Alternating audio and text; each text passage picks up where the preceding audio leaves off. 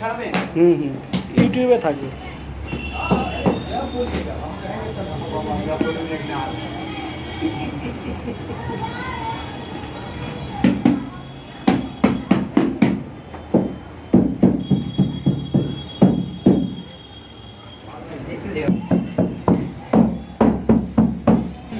সে ওই মানে সারাক্ষণ পাল্টাচ্ছে।